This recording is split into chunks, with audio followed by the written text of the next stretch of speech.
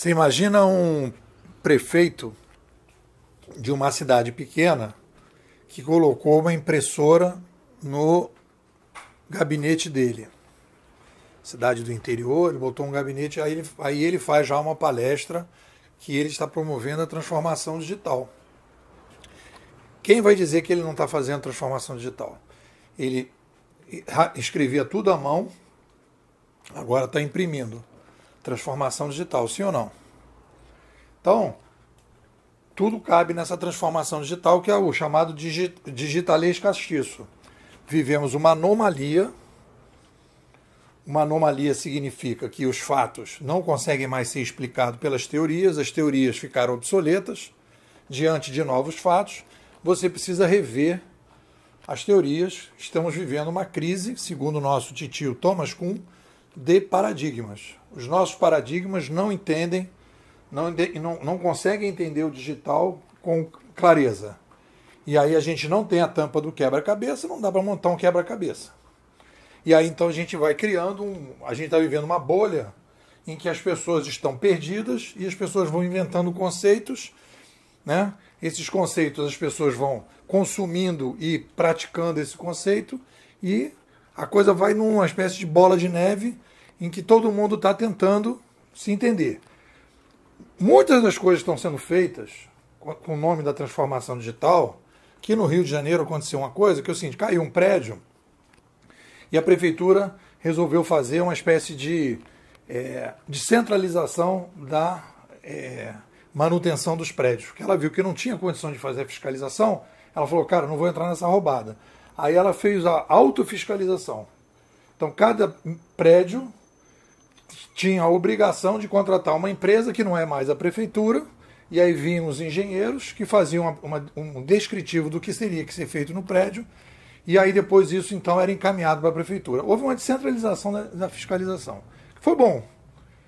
Então todos os prédios começaram a fazer uma série de coisas que precisavam fazer. É uma troca de caixa de luz, é, um, é o não sei o que que precisa mexer, é o não sei o que da garagem, é o elevador que não está funcionando, é a caixa não sei do que, a caixa d'água, não sei o que lá. Então, foram mudanças que foram sendo adiadas que passaram a ser feitas em todos os prédios do Rio de Janeiro.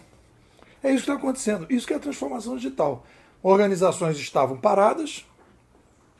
Com a chegada, do, com a chegada da, da, dos canais digitais, em que houve uma, uma transparência total, competição aumentou muito, começou a aparecer startup de tudo que é lado, o consumidor começou a ficar mais exigente, e a partir daí começou o papo da transformação digital, que no fundo é um ajuste. Né? Um ajuste incremental das coisas que já precisavam ser feitas, as pessoas estão incrementando. Mas isso não é a garantia da competição de longo prazo. O que a gente tem discutido aqui na escola é a reintermediação digital. É este o grande desafio e o grande risco que as organizações tradicionais vão ter pela frente, porque a gente tem hoje um novo modelo de comando e controle no Uber, no Airbnb, no YouTube. Aonde esse modelo puder ser encaixado, vai ser encaixado.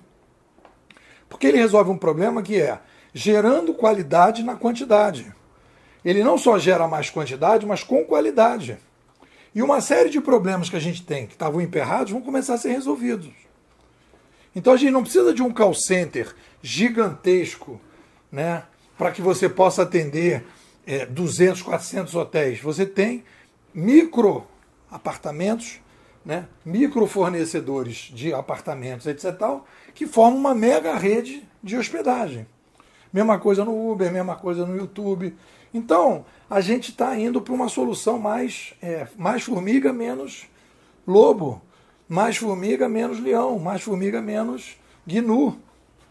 E aí a gente tem um desafio gigantesco, porque todo o modelo que a gente tem hoje das organizações tradicionais é gerente, carteira assinada, controle de acervo, controle de qualidade.